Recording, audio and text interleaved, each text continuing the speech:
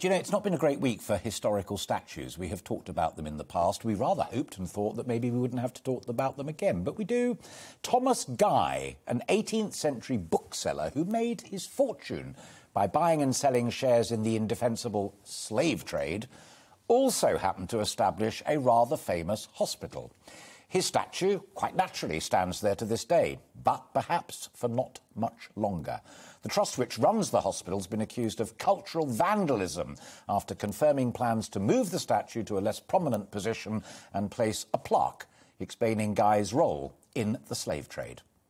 75% of people who uh, were opposed to moving it, but uh, they're doing it anyway. But Thomas Guy isn't the only historical figure to face the ire of London's civic institutions.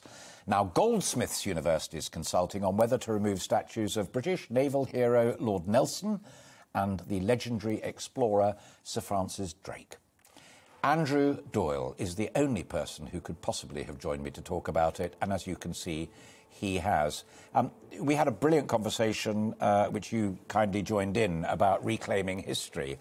And what I said in the introduction there, I genuinely meant, I thought, you know, we might have grown up a bit and moved on from statues. Yes. But Guy's Hospital.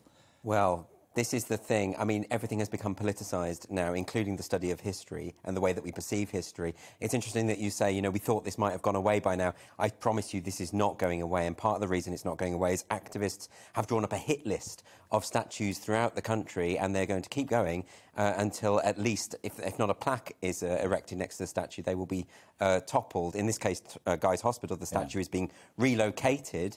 But what's very interesting is that is the, the statistic you mentioned. There was a public consultation about yeah, this. seventy-five percent. Right, and, and but is, we know better, don't we? Well, this is the problem, isn't it? It's that the decisions are being made irrespective of public opinion on yeah. this. We saw this a few weeks ago in, in, in, in Tavistock with the statue of Francis Drake. Yes, and there, there was a similar consultation about whether a plaque should be erected next to that, um, and a judgmental plaque, not just a sort of uh, historically uh, balanced. Sure. It, it, was it, they were using words like brutal and horrific, yeah, yeah, yeah. that kind of thing. I, I will risk Same your thing. ire mm. by suggesting that Francis Drake, I mean, great towering hero of the nation. Yes. Uh, not least because Hollywood and British movie makers have been so kind to him over the years.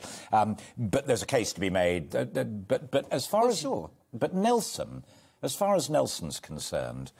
Yeah, um, I mean, Nelson's. I mean, A, he wasn't a slave trader. No. B, he saved our skin against Napoleon at Trafalgar. Yes. And C, the Navy, he didn't actually lead the Navy like good Lord West did, but he was a very, very senior, towering figure within it.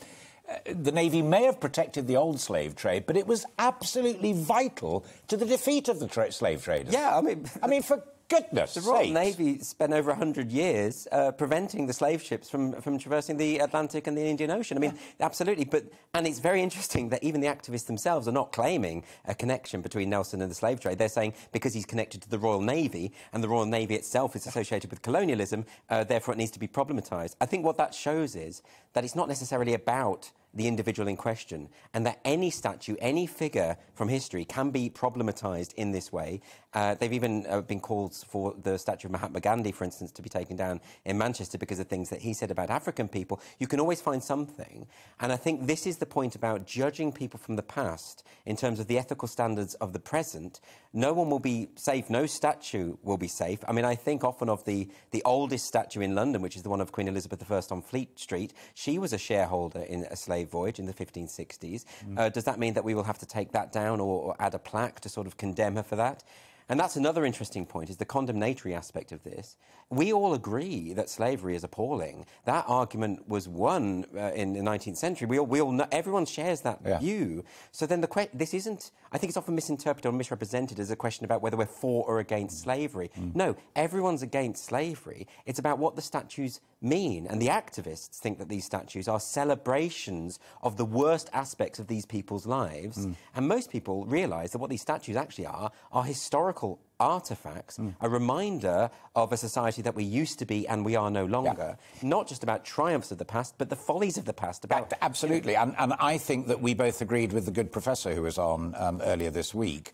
Uh, that, that the idea that, that history is edited in some way to leave out the nasty bits and only celebrate the good bits is nonsense. I, it's also dangerous because it, it, it is absolutely dangerous. It's, it's, but but to try and rub bits out because yeah. you don't like them is anti academic, anti intellectual, just plain stupid. And it's from the authoritarian playbook. This is why George Orwell, specifically in 1984, talks about streets being renamed, statues being toppled, right? Mm. It, like, this is something that we have to be very wary yeah. of. We have to acknowledge the bad parts of our history yes. as well as the good, and some of that is recorded in the cultural landscape. Sure. Quick one. Um, we I'm not sure whether you and I have talked on air about Cecil Rhodes and, and, and mm. Oriel College, Oxford, yes. uh, but that was an early example. I know a lot about Colston because I was at Bristol University, not at Oxford, but, but that's a celebrated case.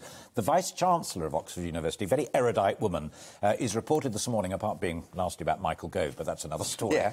saying that universities have got to be open-minded and places of free-flowing thought yes. if they are to remain in the affection of the public, particularly the tax-paying public. Yes. Has the worm turned, or is it beginning to turn? Uh, there's, well, there's actually all sorts of dissent within universities and within the academic staff at universities. The Rhodes example is a good one because actually a number of academics started saying that because they wouldn't remove the statue, they're not going to even teach uh, the pupils at Oriel College. So it depends on who you talk to uh, within academia. And, uh, but I think it's a knee-jerk reaction, the idea that we should decontextualise the history, oversimplify the history, removing the statues, and all that, it just kind of goes away. We can, we can whitewash the past and pretend it's not it's not a problem. But it's interesting with Rhodes as well is that the activist who was leading the campaign in Oxford had said that by seeing the statue, it felt like he was being punched in the face.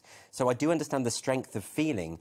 People do hate the idea of colonialism and slavery. Well, I do. You know, I think all of this that, that's not the debate and that's not the question. The question is about how we approach these monuments and these aspects of the cultural landscape in a sensible adult way and don't just have this knee-jerk thing of we've got to get rid of them and pretend it never happened. Sure. I mean, the other thing that I, I do get angry about mm. is, as in the case of, of, of, Cecil Rhodes and now in the case of, of, of Thomas Guy and Guy's Hospital, yeah. is a willingness to take the fruits and spend the money. Well, isn't that interesting? And enjoy the scholarships, and then suddenly to say, oh, historically, philosophically, and intellectually, we've now changed our mind. If I was a trustee of the Rhodes Scholarship Fund, or if I was on the board of Thomas Guy's, uh, or, the, or the, the, funding agency, I'd say, right, okay, fine, well, if you don't want us anymore, you don't like us anymore, we'll have our money back. Yeah, sure. And, you know, the, the, the hospital was set up for the poor. It was a very philanthropic gesture. I understand that he just, I mean, the year before the hospital was founded, he'd mm. sold the shares from the, uh, uh, you know, so, uh, you know, I understand that the money came mm. from the slave trade. No one's denying that. But yes, something positive came out of this. The, the statue isn't there to celebrate his role in the slave trade. It's there to celebrate the inauguration of the hospital yes. and the good that it has done. I mean, it'd be interesting if people did behave like that and say, "Oh, well, you can you can go then, can't well, it's an invitation. I, I throw well, it out. Thrown the idea out there. I wonder if someone will take it up. GB News here to report and to stimulate debate. And it was a pleasure. Thank you very much indeed.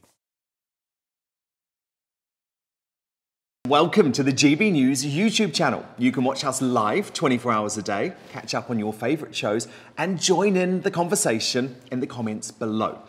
Don't forget to subscribe and you'll never miss any of our exclusive content.